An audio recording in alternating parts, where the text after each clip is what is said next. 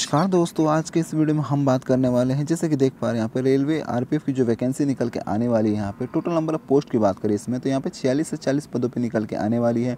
यदि आप इसमें ज्वाइन करना चाहते हैं आरपीएफ को तो इसके लिए क्या शिक्षा योग्यता आपके पास होनी चाहिए, इसके लिए आयु सीमा क्या होनी चाहिए आपकी, और इसके एग्ज़ाम में जो सिलेबस पूछा जाएगा वो कैसा रहेगा, और इसका एग्ज़ाम पैटर्न क्या रहने वाला है, इसके बारे में तमाम सारी जानकारी हम आपको इस वीडियो में देने वाले हैं। और यही बताने वाले हैं, जो इसकी वैकेंसी है, वो कब तक आ जाएगी? आप इसकी ऑनलाइन फॉर्म कब से भरना चालू हो जाए वही इसमें एज लिमिट की बात की जाए, आयु सीमा की बात की जाए तो जैसे देख पा रहे हैं फॉर द कांस्टेबल की बात की जाए तो न्यूनतम जो आयु सीमा मांगी जा रही है, वो अठारह साल से लेकर पच्चीस साल तक की आपकी उम्र सीमा है तो आप इसके लिए ऑनलाइन फॉर्म आवेदन कर पाएँगे। और वहीं हम एसआई की बात करें सब इंस्पेक्टर की तो न्यूनतम जो है मिनिमम आपके पास एज जो है, बीस साल से लेकर आपकी उम्र पच्चीस साल तक के बीच में है तो ही आप इसके ऑनलाइन फॉर्म को आवेदन कर पाएँगे। लोगों का सिलेक्शन कैसे होता है? लोग इसमें जो है आरपीएफ में जो जो काम करते हैं हैं उनका सिलेक्शन कैसे होता है, चयन प्रक्रिया कैसे यहाँ पर की जाती है रेलवे द्वारा? जैसे देख पा रहे हैं, पहले फ़ेज़ में आपका यहाँ पे सीबीटी एग्ज़ाम होता है, यानी कंप्यूटर बेस्ड आपको एक परीक्षा देनी होती है। इसको पार करने के बाद यहाँ पे फ़िज़िकल एफिशिएंसी टेस्ट यानी आपको दौड़ लगवाई जाती है। आपकी कितनी दौड़ लगवाई जाती है, मैं इस वीडियो में आगे बताने वाला हूँ। और उसका फ़िज़िकल मेज़रमेंट टेस्ट होगा। आपका बॉडी का नाप तौल होता है यहाँ पे अब फोर्थ फ़ेज़ में यहाँ पर डॉक्यूमेंट वेरिफिकेशन होता है फिर आपका यहाँ पे सिलेक्शन कर दिया जाता है रेलवे द्वारा। तो यहाँ पे जैसे देख पा रहे हैं एग्ज़ाम पैटर्न को लेकर यदि आप सीबीटी का एग्ज़ाम देने जाएँगे तो आपके सिलेबस में जो क्वेश्चन है वो कहाँ से पूछे जाएँगे वो इसमें बताया गया है। जैसे कि देख पा रहे हैं यहाँ पे यदि जनरल अवेयरनेस की बात करें तो यहाँ पे पचास क्वेश्चन आपके एग्ज़ाम में देखने को मिलेंगे। इससे मैथ्स की बात करें तो पैंतीस क्वेश्चन यहाँ पे देखने को मिलेंगे। और जनरल इंटेलिजेंस की बात करें तो यहाँ पे पैंतीस क्वेश्चन आपको देखने को मिलेंगे। टोटल नंबर ऑफ़ क्वेश्चन की बात करें तो एक सौ बीस देखने को मिलेंगे। और इसके लिए जो आपको पास टाइमिंग दी जाएगी, वो नब्बे मिनट का समय दिया जाएगा, यहाँ पे डेढ़ घंटे का समय दिया जाएगा। और यहाँ पे बता दें, आपको वन बाय थर्ड की नेगेटिव मार्किंग जी हाँ दोस्तों वन बाय तीन की नेगेटिव मार्किंग आपको देखने को मिलेगी।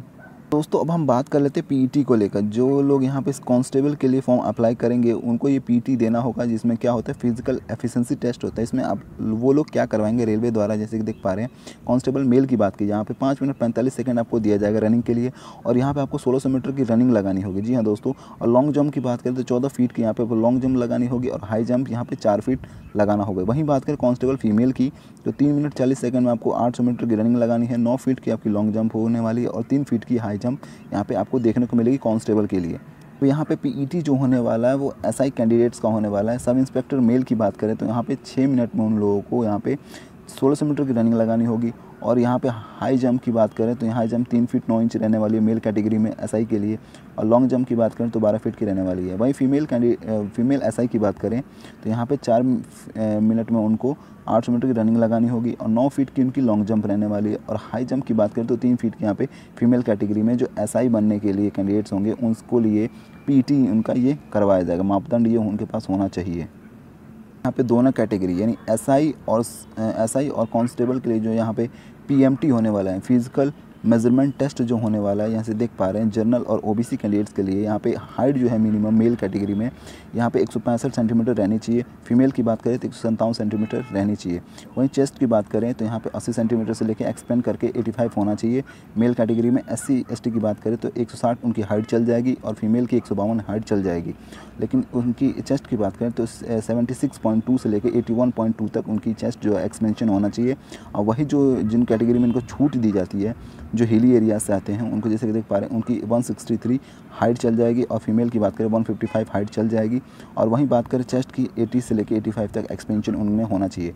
ये दो, दोनों जो है कि एसआई और कांस्टेबल दोनों के लिए ये इसकी वैकेंसी को लेकर इसकी वैकेंसी आखिर में कब तक आएगी? जैसे कि देख पा रहे ऑर्गेनाइजेशन का नाम है रेलवे प्रोटेक्शन फोर्स जिसमें वैकेंसी आने वाली है। पोस्ट की बात करें तो कॉन्स्टेबल है और यहाँ पे सब इंस्पेक्टर की बात की गई है। है तो दो पदों पे वैकेंसी निकल के आने वाली है। मोड ऑफ़ इसका एप्लीकेशन जो इसके भरे जाएँगे ऑनलाइन फॉर्म जो इसका भरा जाएगा, यहाँ पर ऑनलाइन तरीके से भरा जाएगा। और एप्लीकेशन की बात करें तो यहाँ पे बताया जा रहा है कि एप्लीकेशन जो है इसके 15 अप्रैल से लेकर 15 मई तक इसके ऑनलाइन फॉर्म जो है कि भरे जाएँगे। और यहाँ बात करें तो इसका सिलेक्शन प्रोसेस जैसे कि मैंने आपको बताया था, चयन प्रक्रिया कंप्यूटर बेस्ड टेस्ट होगा आपका, फिर फ़िज़िकल एफिशिएंसी टेस्ट होगा, फिर फ़िज़िकल मेज़रमेंट टेस्ट होगा, फिर डॉक्यूमेंट वेरिफिकेशन होगा। इन तरीके से आपका जो है कि इसमें चयन प्रक्रिया की जाएगी। जॉब लोकेशन की यदि बात करें तो ऑल ओवर इंडिया रहने वाली और इसकी ऑफिशियल वेबसाइट यहाँ पे जैसे कि इसके ऑनलाइन फॉर्म आएँगे, हम आपको इस वीडियो के माध्यम से आपको इन्फॉर्म कर देंगे कि आप इसके ऑनलाइन फॉर्म को अप्लाई कर दीजिएगा। ठीक है दोस्तों?